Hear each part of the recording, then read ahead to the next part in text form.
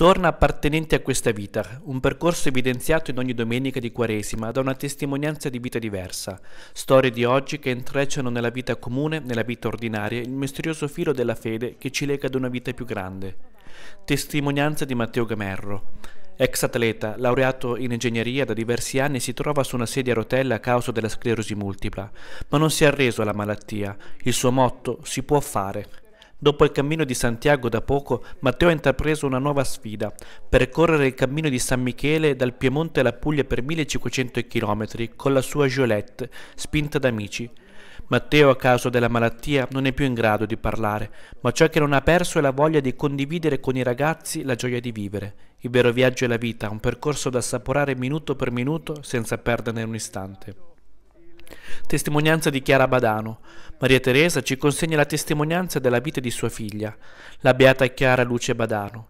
Dopo i 25 minuti di lotta, quelli che sua mamma ha definito il suo Getsemani, Chiara si è lasciata avvolgere e trasformare a Donna Luce, che risplende. Chiara Lubic, fondatrice dei Focolari, la soprannominò appunto Luce per il suo sorriso, tanto più prezioso adesso in questo tempo confuso e buio, che attira e conduce a colui che è la fonte di tanta grazia.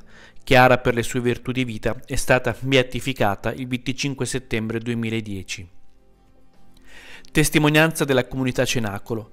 Dalla fantasia dello Spirito Santo, attraverso l'intuizione di Suor Elvira Petrozzi, è nata nel luglio del 1983 la comunità Cenacolo, come risposta della tenerezza di Dio Padre all'urlo di disperazione di tanti giovani stanchi, delusi, disperati, drogati e non drogati, alla ricerca della gioia e del senso della vita.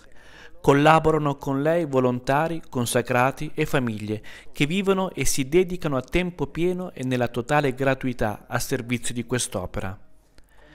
Testimonianza del giudice Tea Baraldi già giudice onorario presso il Tribunale per i minorenni del Piemonte e della Valle d'Aosta, la sua testimonianza ci introdurrà in un mondo che fa della misericordia e corresponsabilità i punti cardini per condurre in porto situazioni difficili. Il giudice ci mostrerà il lato della fede e della giustizia che hanno intrecciato gli anni del suo lavoro e non solo. Testimonianza di Goodluck.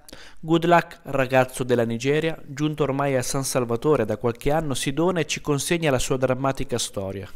Una testimonianza toccante che racconterà della fuga dal suo paese, della sofferenza che la sua famiglia ha subito e sta subendo. Un invito a giudicare con gli occhi del cuore tutte quelle storie che portano in sé uno strappo. Testimonianze che partiranno proprio dal Vangelo proclamato nelle domeniche di Quaresima, testimonianze che dicono come oggi più di ieri esse siano la traccia di Dio nella nostra vita.